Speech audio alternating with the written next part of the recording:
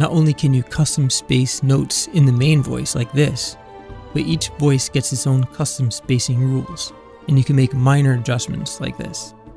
And this is what I mean by Music offering a fluid feel.